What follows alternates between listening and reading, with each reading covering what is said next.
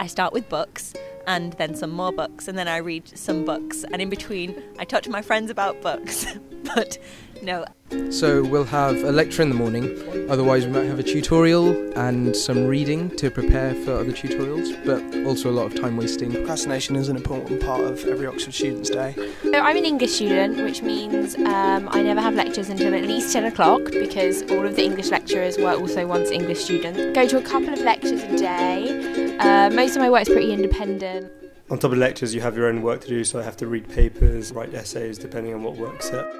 But work aside, there's always time for sort of playing football. Uh, I've learned the ukulele whilst I've been here, the jaw harp. I play squash and cricket. I'm also part of the Film Society and I'm setting up a new volunteer scheme. I, I actually got involved in ballroom dancing at university, like, I'd never done it before. I do lacrosse, having never done it before for college. I do lots of rowing because I like rowing. It's good fun. He's the Gets me fit. president.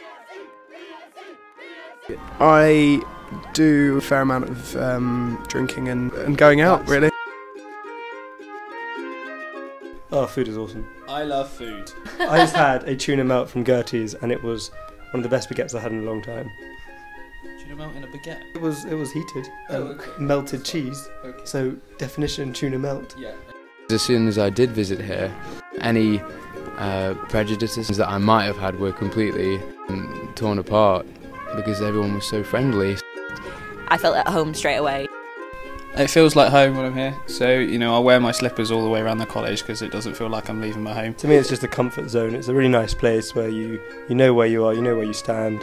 Everyone's friendly and lovely. I was originally, well, thinking I was going to go to Leeds because I didn't think I'd get in. I hadn't actually ever considered even applying to Oxford until somebody really out of the blue suggested that I may as well go for it. Everyone's kind of, you're studying together, living together, working together, and having fun together. So it's great. It has everything everything you expect of an Oxford college. It has the libraries and the quads and it's beautiful.